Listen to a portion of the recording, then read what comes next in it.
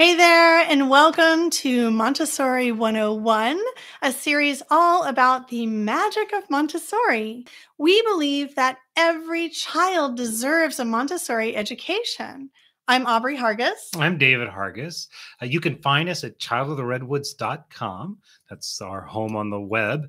Uh, and today we're kicking off a fun series about Montessori materials. And we're starting with, I think, probably the king of the materials. uh, queen. The queen of the materials, the Pink Tower. The Pink Tower. So presenting the Pink Tower. The Pink Tower is the probably the very first Montessori material that most parents encounter when you start looking up Montessori education. If you just Google Montessori, look in Google Images, no doubt you're going to encounter a pink tower or an icon of the mm-hmm. pink tower. Um, it's just that prevalent. It really is like the symbol of Montessori. It's kind of the unofficial symbol of Montessori. I don't know that Maria Montessori herself meant it to be the symbol, but yeah. it definitely is a classic and iconic piece of Montessori materials that we have today. Um, and it's also one of the, the very first materials that many parents invest in when they start thinking about adding some Montessori materials to their own homes. Um, so the question is once you've got your pink tower hmm. you might be wondering what do i do with this thing? You know do i really need it? And the like this is an essential? Um what's the best way to use it? Do we just start to play with it? Do i just let my child play with it along with their other sets of blocks? Is it something special that i need to reserve aside and present in a very specific way in order for my mm-hmm. child to get the full benefits about it? So in this little live episode we are going to actually discuss the benefits benefits of this gorgeous, absolutely essential Montessori material. I put that in quotes because Montessori is affordable for everybody. You don't have to have the materials. But, you know, if we were going to make a list of essentials, this this guy would be on it. Definitely. In fact, if you're curious what other essentials we would recommend, we actually have a list, a downloadable list. It's on childoftheredwoods.com slash free. And scroll down, you'll find a 21 essential Montessori uh, basics, including our friend the Pink Tower. So let's talk about this. The Pink Tower is really neat. I'm gonna pick it up a little bit of it here. So yeah, so let's do some demystifying. Yeah, so this is just the top half. There's five. So that's the pink tower is a 10 cube, a series of 10 cubes.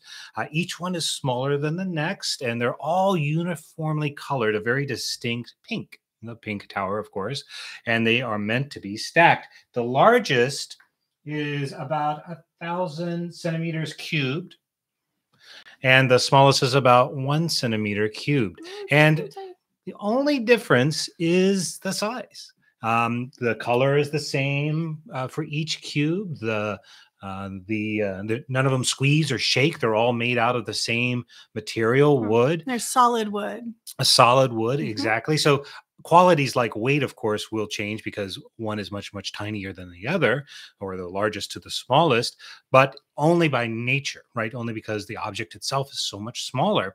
Uh, and this is because we want children to focus their attention on specific things. We call this isolation of quality. And it's one of the essential concepts in Montessori education.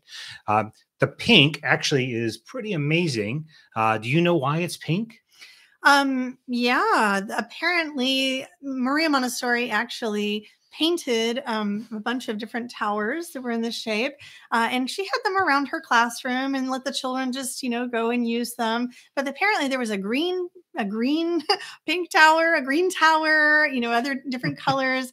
Um, and what she decided was that children were just drawn to the pink. Um, and so that's why she just chose pink. Now, she probably, in, in reality, she probably had to pick a color when she was working with uh, materials makers. She actually worked with some, some wood uh, toy manufacturers or just like people who what do you call people who work with wood Carpent, yeah, carpenters yeah, workers, yeah. so so she worked with some carpenters to produce some materials for other classrooms other teachers to use with children in, in settings and so i i kind of assume she just had to pick a color for them to paint it that's right and so she just got to decide and what she decided was hmm, children really seem to be drawn to pink. So pink it is for this particular tower. Yeah, and what a fortuitous choice. I don't think it would be quite as magical if it was the green tower or the blue tower. I mean, we use those colors in Montessori. The uh, colors can be uh, associated with different things. Pink can also be the color of South America, for example. Yep. But uh, in our or um, in this context, pink is perhaps just a convenient color. It was one that the kids were drawn to. Uh, and even though it's more eye catching, the important thing is that it's all the same color. That's that isolation of quality. So, mm-hmm. what's important isn't that it's pink, although I think, again, that makes it iconic. It's that it's all the same color. Uh, this is part of the sensorial subject area. So at Child of the Redwoods, we've identified 10 subject areas that a, uh, a child in the primary or the lower elementary, and I think I would argue probably all the way up is going to focus on, you know, even adults, we focus on these 10 areas. And one of those areas is sensorial, that's focused on children in the first plane mostly, although I think even adults and, and older kids uh, have sensorial needs. But this is a classic of the sensorial education. Sensorial just is the way that we help children explore the world through their five senses uh, touch taste the weight of things the sound. There's all kinds of different amazing lessons including the pink tower. So the question i have is why would we use a pink tower to as a sensorial object and not let's say geometry? Why would we use a pink tower as a, why is it classified in yes, the sensorial category right. rather is, than in like math or, that's right, or geometry? Exactly. yeah um, well, that's kind of a big question. So Maria Montessori felt like children were learning through their senses and they were actually making impressions of the world through their senses. Um, and so she started to think, you know, what are the ways, you know, that we could help children to explore the senses of taste and touch um, and the visual mm-hmm. sense, mm-hmm. the sense of smell. Um, and so she she actually just was kind of looking in the the um, at the toys or you know that were around her trying to think you know which of these kind of in, seems to really hone in on certain sensory impressions. And then later on when we do study geometry with the children the that initial sensory impression has kind of already been made. That's right. Um, so that's kind of a later it's a little bit more abstract. Uh, the pink tower is among other sensorial materials among some of the very first materials that we would introduce to a child in the montessori classroom although it's not the material that you master and then move on to. You know, it would be something like you have a first impression with the visual sense, and it's primarily visual, even though obviously a lot of it is about touch and about um, you can you can say there are a mm-hmm. lot of senses involved right? We're looking at it but it's not just visual. We're, we're able to feel the weight of it the size the shapes of the cubes. Um, but primarily when we look at this particular material we're thinking this is to help children with visual discrimination from largest to smallest. And then after having this kind of an impression in their minds after really playing with this material and experiencing it then we can go into more abstract concepts. So we can say, hey, you know, we've got this pink tower, we've been having this physical experience with it. Uh, and then we can start to teach geometrical concepts that are That's more right. abstract later on. So just because a child is introduced to this material when they're like two and a half or three, three and a half, whenever you know however old your child is when you first get a pink tower, um, this material is kind of a staple. So they would ideally be coming back to the pink tower to experience it in new and different ways. You know, they might, for example, use it to measure things. Mm-hmm. They might say, "Hey, this is about the size of this." The very tiniest cube. Or, cube. Yeah. Mm-hmm, yeah. Um, where actually they might measure it with a ruler, you know, and find out, you know, that it is exactly mathematically mm-hmm. um, cubed. Exactly. so here we have, that. for those of you who are watching, here you can see the, the, this is the smallest and the second of the smallest, and they're precise, right? So it would be two of these and two uh, across. Four of these cubes, the smallest would make one of the larger ones. Mm-hmm. And that is the kind of uh, mathematical thinking. So remember that a child under the age of about six is still in the first plane of development, which means they're very sensorially oriented. They are going to go out and try and understand the world through touch, sound, taste, their senses, right? Maria mm-hmm. uh, talked about the power of the hand and like this great, the power that the hand is to as an instructional to instruct. Uh, and after they get through that first plane into the second plane, they go through this incredible change, uh, and it's this journey to abstraction. And so they start applying what they've learned through the sensorial world to abstract concepts. So, to the very littlest one, and what you're saying, a very, very small child might just look at the tower or uh, you know, poke around on it or feel the weight or the, how cold it is or warm it is, depending. And as they get older, they might start to make observations about how they stack, or can you stack a little one on top of a bigger one, and mm-hmm. will it balance? Without necessarily understanding these concepts of balance or whatever. But at some point, they're going to start to make connections like there really are four little cubes in one bigger cube. And that then will aid them on that journey to abstract thinking as they imagine things like ratio uh, or geometry. So, as a for uh, for a fact, we teach geometry mostly to older students. There is a little bit of geometry or introduction to geometry in the six to nine curriculum. Uh, well, but, there is in the primary as well. But where but, is it held? but it is but it is primarily through a sensorial exactly so experience so this is the gateway right are you teaching your child geometry you are this is one of the things that we would do with something like the pink tower. We just don't call it geometry per se. We refer to it as a sensorial because the child's readiness and level is through the sensorial thing. And so we're designing equipment and using the, that equipment that feeds that part of their brain. Isn't it amazing? Look at it the largest to the smallest just uh, looking at them and knowing that if you put the whole stack together, they gradually get smaller like a tree, right? Mm-hmm. Like a mm-hmm. Christmas tree uh, uh, or a, cone or something. Uh, but if you just cut the middle out and just do the smallest of the tiniest, it looks amazing. These are the kinds of discoveries a young child would be making. The weight. This is so heavy, this large block, and this one is so tiny. It's like the tiniest little feather. And yet, as I am concretely understanding and the more mm-hmm. abstractly, mm-hmm. I'm realizing like this little tiny thing is exactly the same this great big thing just there are more of them yeah, or the how, weight it, is it bigger. might make you wonder how many of those little things exactly would fit into that big thing that's right how would i and then now this leads you to discussions of things like area or uh, other geometric and uh, mathematical concepts mm-hmm. as well as uh, concepts like language right? So bring me the biggest cube bring me one that's a little smaller but don't bring me the smallest right? Comparative language is something else that you might use uh, something like the pink tower to reinforce. It's also great because it's good for visual discrimination. So the biggest to the smallest is very easy to understand but here is the second and the third. And when you put them right next to each other you know it's pretty clear. But if you came over and you are missing one in this order of a big stack you might bring this cube over and say, is it here? Is it here? Even I, when we were putting the cubes together, when we were stacking it together for the show, uh, I had to think for a second because we were missing a cube toward the middle. It's like, is that go to the before or after this one? And that's practicing visual discrimination uh, which by the way is also great for learning how to read. Mm-hmm. Uh, so when you do something like the Pink Tower, you're also teaching reading skills uh, and uh, fine motor skills, which will be used for handwriting. So can I take this very tiny cube and balance it? Um, kids love this stuff; they're drawn to it. First playing kids and even adults. I mean, come on, who doesn't want to play with some blocks like this?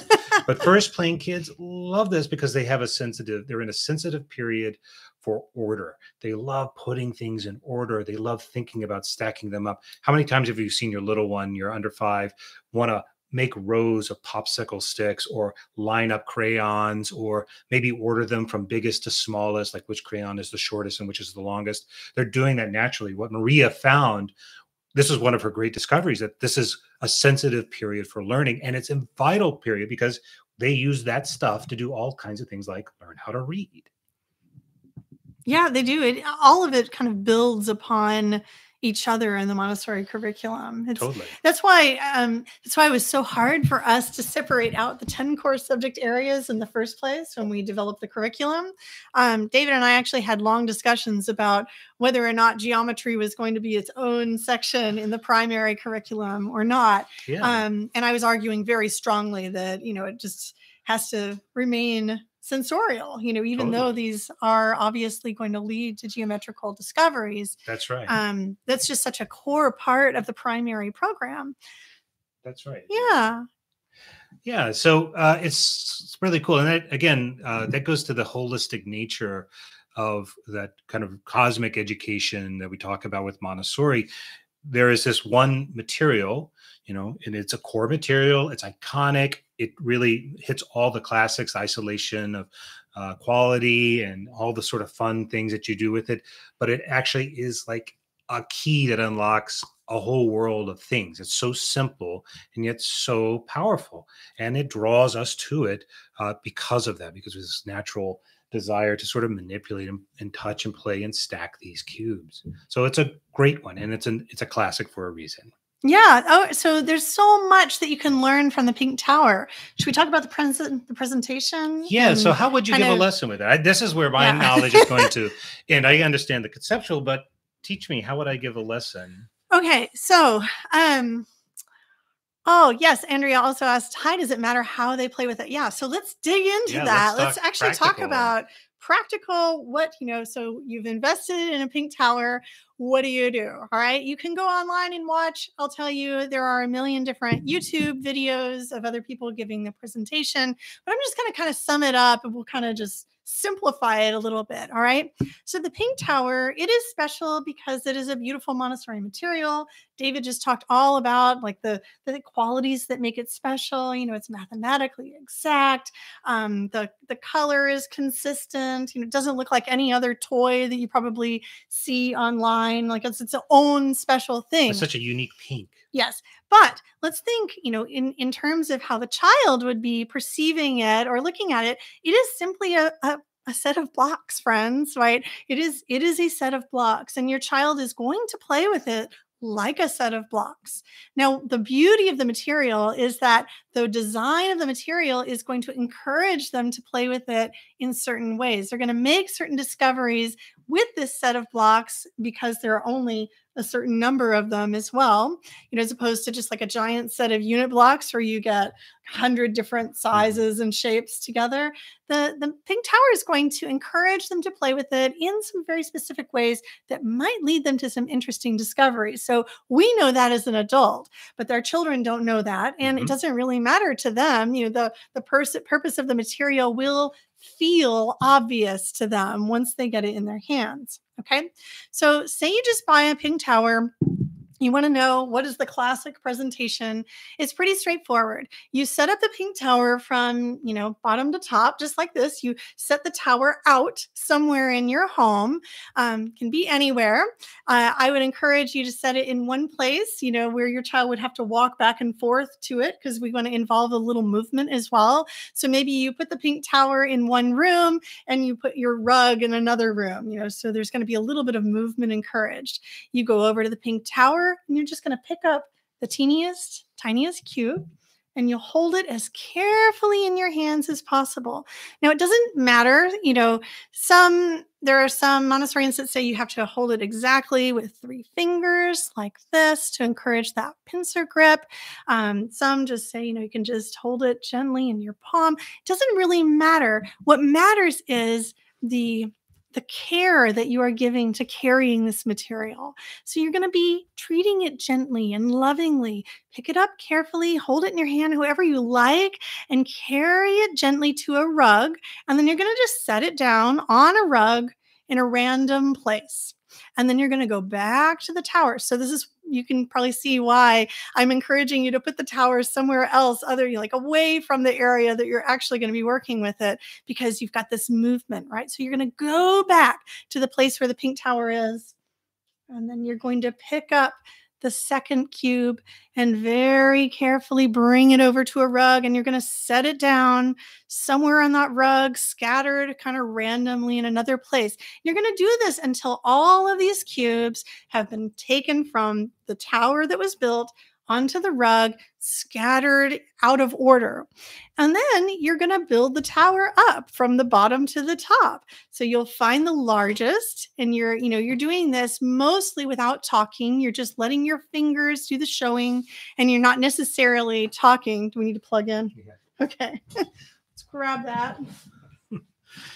Live you. show comes to an abrupt end because of electricity. because we forgot to plug in my laptop. Okay, so so then you you've got all your pieces on the rug and you just build your tower up from the top from the bottom to the top just to make the tower. And then when you're finished you're going to do the same thing. You're going to take your tower and you're going to you're, you're going to place these pieces from that tower back onto the rug uh, and then you're going to return it you know to its original position. So you're just showing your child really like how to go and get something carry it super carefully across place it on a rug, explore it, play with it, have fun with it.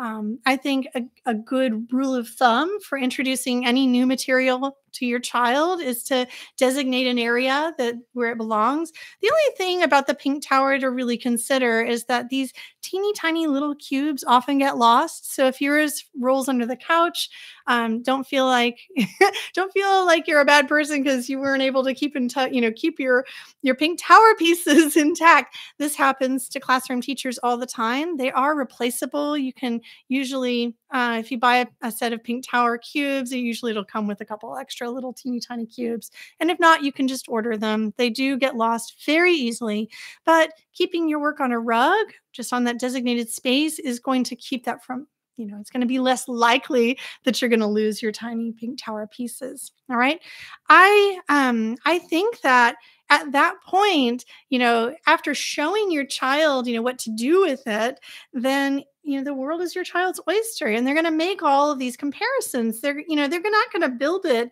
probably perfectly you know they're going to build it out of order at first if you present it while your child is young enough to still be working on that visual discrimination they won't get it right the first time. If your child already has the visual discrimination skills to build it then they're already past that first step. They, you know they that part won't be interesting to them. They'll already be able to build up a pink tower and to be honest, many children already have that kind of experience because they're used to playing with nesting blocks mm-hmm. or you know there are other toys that teach visual discrimination even if they aren't as lovely as the pink tower. That's so right. if your child has had those kind of experiences already, they might be thinking, "Ah, what's the point of this? You know, I I can build the tower and maybe they can and you know, okay, my child can already do that. But there's so much more that you could do with the pink tower. You can make designs with them. You know, could take the the biggest and line them up kind of corner to corner mm-hmm. across your rug and make a diagonal.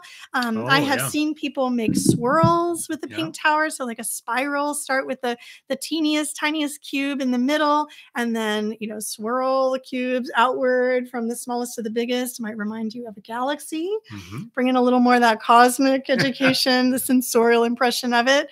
Um, you know, so, you know, and your child will probably want to try and build it upside down. This does happen. Um, just a word of caution on that one. I think it's fine. Your child will find out that it's not steady, you know. So yeah. you could try it on a, a stronger surface than a rug, like a hard surface. You can encourage mm-hmm, that. Book, um, and I would be there to support them, you know, because the tower is probably going to fall. And just to know your pink tower is going to get chipped. They almost all do. Even mine, which I have um, cared for gently That's right. for, for, several years. I mean, they just all get chipped. Um, so I have yet to find a Montessori material company that makes a pink tower where the corners don't get chipped.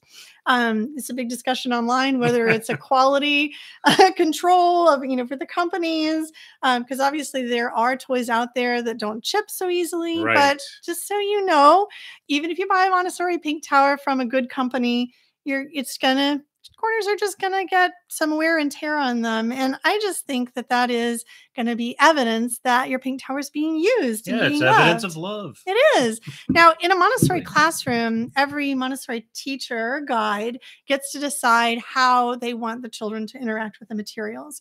In most Montessori classrooms, it is perfectly fine to combine materials together.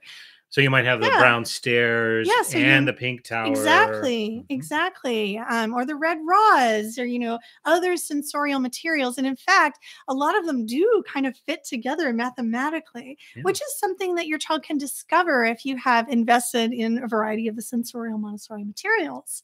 Yeah. And your child also is probably going to be making discoveries um, around your house as well. They're going to find that, like, this fits perfectly, you know, inside the corner of one of your bookshelves with some, you know, could be used as like a bookend or something. A bookend. Or, you know, maybe they realize that one of their other toys, you know, fits one of these cubes perfectly. Um, and these are all just discoveries for the child to make. And you would um, say it's not, it doesn't. So, to that question, Andrea's question, yeah. doesn't matter how they play with it. It really doesn't as long as they have as, respect for the materials. Absolutely. And um, so we say, like, as long if they are being destructive with the pink tower you know like they're they're using it to hurt another person or to hurt themselves or to hurt something in the environment or maybe if they're being rough with it intentionally maybe they're going to use it as a hammer or something you might dissuade that so if they're, if I mean, it's a question, really. Yeah. So if they're being destructive with that, however you interpret that, you know, you're you're worried about something else being hurt. Um, your toddler is picking it up and throwing it at your four year old. Um, you know, those those are times to put the pink tower away. well, this relates you know, to, to, the practical life yeah. uh, area of uh, grace and courtesy. Yes. Yes. Right? So, so, you know, you you can teach your child how to be careful and kind with materials.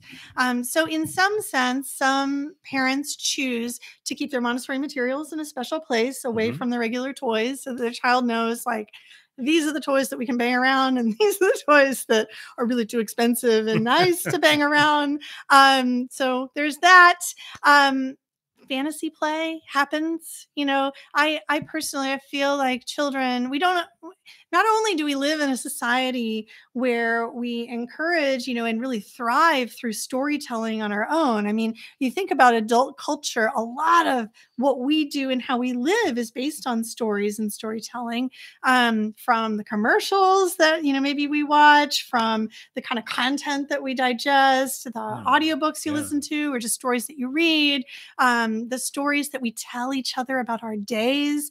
So, of course, your child is going to be immersed in some kind of role play or pretend play sometime in their young childhood. And it really usually blossoms during these primary years. Right. And so a lot of parents will look at these Montessori materials and think, okay, so these materials are for reality play, they're not for fantasy play. So I need to prevent my child from playing with them in a fantastical way. Um, and there are Montessori teachers who would agree with that ideology and would enforce it, like no fantasy play with the Montessori mm-hmm. materials. I am 100% against that ideology. Yeah. I think that we, as long as our children are being gentle and loving with their materials, we should let them play with them in the way that they want to. That's right. So, if in a Montessori classroom, what's available to explore that pink tower with is other Montessori sensorial materials or other materials on the shelf, and what's available at your child's home to explore other materials with are like Barbies or dollhouse or, or dolls or cars, like um then then that should be available to them you know as long as they're being gentle and, and kind. Yeah that's right i can yeah. imagine a child who is i was i loved brio trains when i was a kid and i could imagine a child wanting to stack this and then put the track from one to the other to see how fast the train or a marble would go down it and then using different sizes to sort of evaluate that. So you can do all kinds of fun stuff and that imaginative play is totally fine because the beauty of these materials is that baked into the design is the lesson that's what makes one of the things that makes montessori so genius so we're we only have about five minutes mm-hmm. left mm-hmm. Uh, I thank you, Libby. That's a beautiful little testimonial there. Um, the pink tower is great. Is it a necessity? And is there anything you can use an as an alternative? So uh, I would say as an alternative, sure, there's lots of things. There's the pink tower itself is is pretty cool, but Russian nesting dolls, uh, uh, or nesting blocks, measuring cups. If you have measuring cups that get gradually smaller and you can put inside uh, one versus the other, they're demonstrating similar concepts, right? This idea of gradation of size and the stacking. Uh, these will convey a similar idea, or uh, go out. You're out at the beach or you're out taking a walk.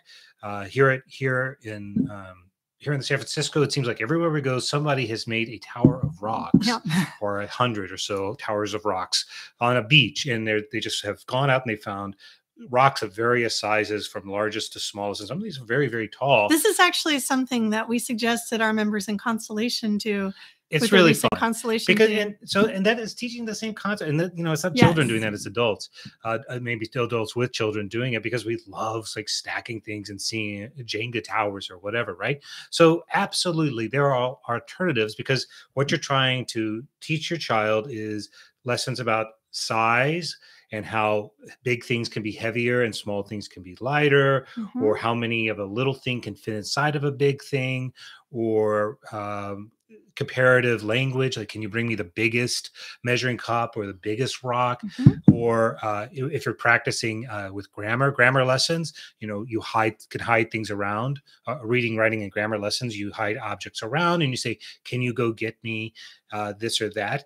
Uh, and it could be go get me the very largest rock or the, in this case the very largest uh, block. You don't have to have a pink tower to do that but would you say owning a pink tower is a good use of your money Absolutely. Yeah. Oh my gosh, I so would. Why? Because it's going to make you feel like a Montessorian. Like uh, just owning a pink tower, you're going to feel like you're part of the Montessori club right away. Um, and they're actually not as expensive as they used to be. that's right yeah, there are much more affordable versions. You know, back when we had our children, um, when we had our first child, it was 15 years ago, and even um, even then it was mostly uh, made for schools mostly and made for schools and now they have they usually often have several versions. They'll have like a premium line where it's made out of hardwood and they'll have like a a, a more affordable option for families. It's made out of maybe a more sustainable wood like rubber wood. Maybe mhm, it's not as durable. You can might expect not have it the heft. might not have the heft yeah but wood but I, you know, I think that those things are negligible. You know, Totally. if it uh, gets a Montessori material into someone's home, I think that's great. So if you don't have the money for it, don't feel like you're lacking. I you mean, can just do montessori yeah, you totally can. Go get some rocks, like David said, of various sizes. get your measuring get your- cups out Yeah, get your It's- measuring right. cups. It is perfectly okay not to own one, but owning one I think is really sweet and really special. And kind of, you know, it- pink is the symbol of love, you know. um, and so I don't know. I love the pink tower. Yeah, I think you'll fall a- in love with it as well. I agree. It definitely is a worthy investment. It will make you feel like a um, a real Montessorian. And and I would I would encourage you, uh, just as you to underline what you're saying, uh, let them play with it. Yes. It's okay. Don't buy it and fetishize it like it has to stay up high. Put it somewhere where the children can go and explore and play with it. And they're going to stuff Yeah. it. They're going to drop it. They're going to misuse it from time to time. You're going to get chips. That's okay. Yes, and to, to underscore, um, the fussier you are with your pink tower presentation, you know, the the the more uptight you are about how your child is engaging with it and playing with it, or how often they're playing with it, the the more your child is going to resist and not want to play mm, with that's it. That's right. Remember, So approach it like any other toy, or or like as a mm-hmm. gift you're giving your child. Like here, this is for you. I wonder what you can do with it, and what you can teach me to do with What it. is the saying? Play is the work of Yeah. the child. Put it out. Let the child play with it. They're working, especially in those young years in that sensitive period Yes. Uh, for uh, order and weight and, and all, so, And all if you um if you buy a pink tower and it arrives in a box for Christmas, um, it's okay like to open it up together, um, or birthday or whatever it is. It's okay to open it up together and explore it. You don't have to wait for the perfect moment to give the perfect lesson. Yep. The the magic is already built into the material. Like it's already a great material, and your child is intuitively very likely intuitively going to know that it's like or discover that it's a tower it is. so it's great to give the lesson if your child wants, you know, is in the mind frame of having a lesson. It's, it can be a beautiful thing. Um, it is very long. Not every child wants to sit through it with their parent, even if they will sit through it with a guide. Mhm. So the more you can relax and just love it and explore it and, and play with it and have fun with it, the better. that's right. Pink Tower should have a BOGO sale. That is right.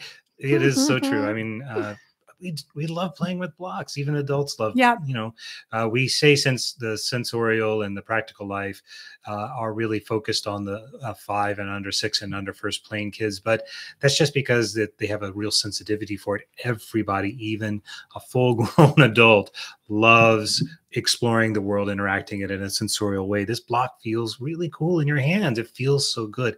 Or like uh, laying under a weighted blanket. You know, it's kind of the same thing.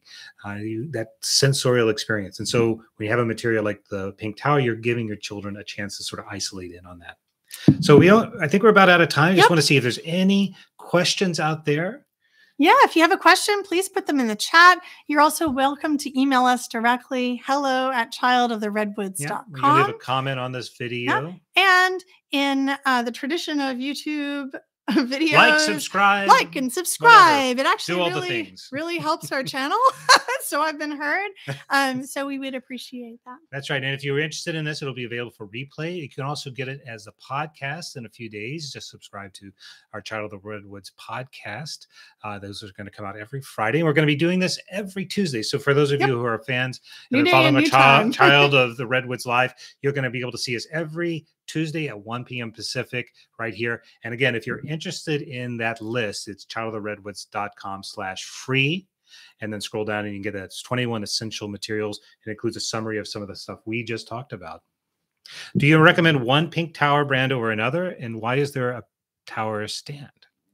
And why is there a tower stand? Oh, you know, a pink tower stand. I used a little golden box for ours that we um, had got a Christmas gift in, I Yeah. think, one year. So I never, we never actually had a stand at our house for our pink tower. It's just a, a, a nice place to be able to display it, you know, to kind of prop it up. So it's not necessary at all. Um, sometimes it can kind of feel a little weird to put your biggest pink tower cube directly on the floor, especially if floor gets dirty and stuff. So it can kind of raise it up a little bit. Um, we we literally just used a little gold box that Yeah. was uh, just just bigger than the pink tower. Um, I liked it because it showed kind of showed it off. It's a pretty little box. Don't and- don't feel like you have to keep it if you're a homeschooling parent. Don't feel like you have to keep it in tower form. Uh, it, it is just as effective if you just lay it on the shelf or even put it in a basket. Um, I know it's type it's kind of Montessori heresy, I guess, to display it in a different way. But I actually walked into a Montessori classroom where I saw the Montessori pink tower displayed horizontally. So- whatever is best for you and it's your whatever family works. is what is what yeah, whatever works. Um, and as far as a particular brand over one other, I don't have any recommendations. We I have played with and tried out many different brands. Um, I I would go for as high quality as you can afford. Mhm. So if you can afford the premium version, you know, if it's really going to be something that you're just really going to love on and it's special to you, Yeah, maybe you have a, eh, a maybe it's worth bunch of kids that you want to go through and you want it to hold up over Yeah. you know we know some of our community members have you know five or six children you, it's a lot of kids to be playing with those blocks so the higher quality the potentially the longer lasting uh, but uh, if you know if you'd have a smaller family or uh, you know maybe you're already kind of toward the end and it's really more for uh, to have and to look at then i think you could probably spend less it's just whatever's right for your family is is what's right yeah that's the, the orthodoxy is, is about as hard as that That's about Uh, it. yeah. All right. Well, thank you so much, friends, for spending time with us today. And we'll see you next week at one o'clock Pacific Standard Time. that's right On Tuesdays. That's right. Hi. Thank you so much. Thank Take you. care. Take care.